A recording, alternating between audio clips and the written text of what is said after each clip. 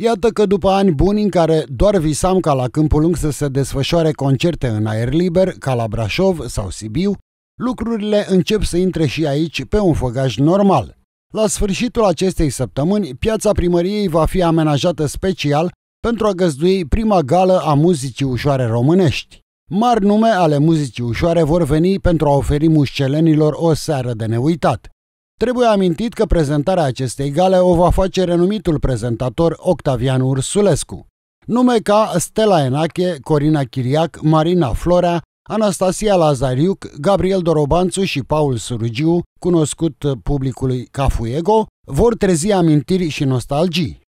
Pe data de 12 uh, organizăm aici, uh, în piața primăriei, uh, la fel cum s-a întâmplat anul trecut de Crăciun, așa vom pune scena, un regal al muzicii ușoare românești, în sensul că vor veni Fuego, Corina Chiriac, Anastasia Lazariuc, Gabriel Dorobanțu, adică doar melodii, vom auzi doar melodiile alea, știi, care gara noastră mică, toate melodiile alea care ne fac și acum să dansăm și ne fac să ne simțim bine și vreau neapărat să-l organizăm și mă bucur foarte mult pentru că acești artiști și-au făcut timp să vină la Câmpul Lung în condițiile în care este bătaie pe artiști, pentru că uh, sunt foarte multe evenimente la mare, la munte, în foarte multe locuri și mă bucur foarte mult că au fost de acord să, să vină aici la Câmpul Lung. Sper să fie o bucurie pentru,